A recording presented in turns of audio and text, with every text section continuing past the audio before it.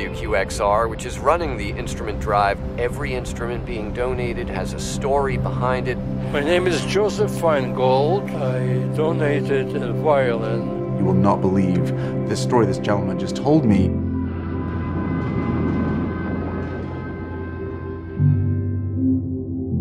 I always think of my mother. She sang Jewish songs, and very often I accompanied her on the violin. I imagine I was thinking of a young kid who was motivated. I'll be very happy to see something like that. The student that we have chosen is Brianna. That violin has so many secrets that nobody knows. Now we can find our secrets. to me, this is like an adventure. I always wanted an adventure.